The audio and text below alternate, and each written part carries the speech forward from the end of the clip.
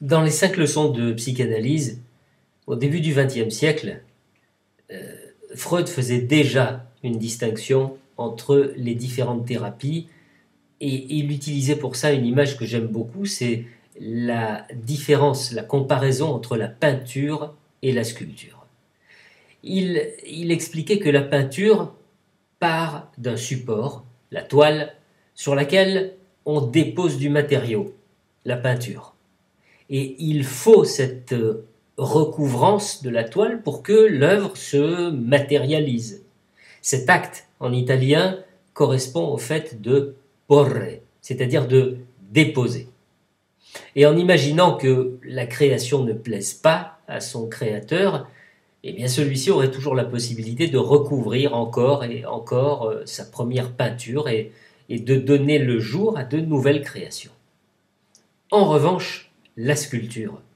La sculpture nous propose un bloc de pierre qui contient déjà en lui une œuvre en puissance. Un bloc duquel il va falloir retirer du matériau pour que l'œuvre, à la fin, apparaisse.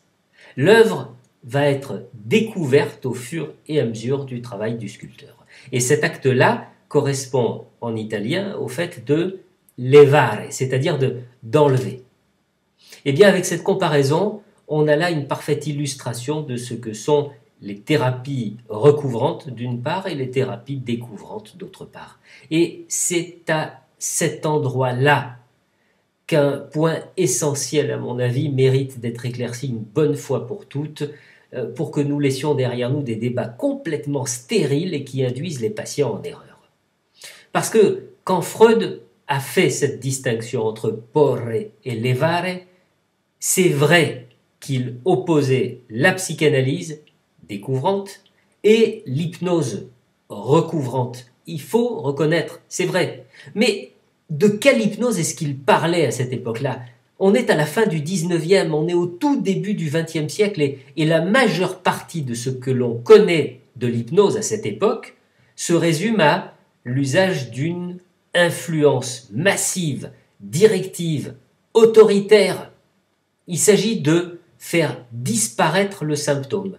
Par le verbe, par le regard, par le geste, il s'agit de le gommer sans se préoccuper de son origine ni des conséquences de sa suppression.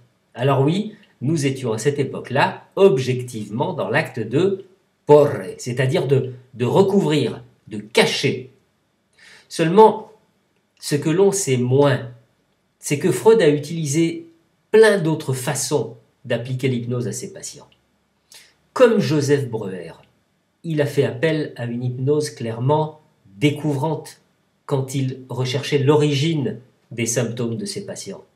Comme Pierre Janet, il a utilisé une hypnose découvrante pour nettoyer, entre guillemets, les, souvenirs traumatisants des névroses de guerre et, et favoriser une expression émotionnelle bénéfique à ses patients.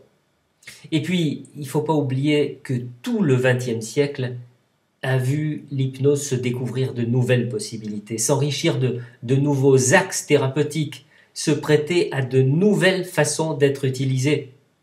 Ça signifie qu'il serait complètement absurde de croire que tout comme il y a un siècle, l'hypnose se réduirait aujourd'hui à une technique recouvrante ayant pour seul objectif de faire disparaître un symptôme.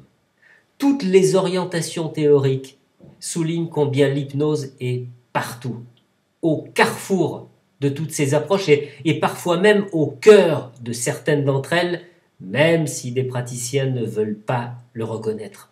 L'hypnose interpénètre toutes les approches thérapeutiques. Elle est représentée à des degrés divers dans chacune d'elles. On pourrait dire que c'est la plus intégrative de toutes.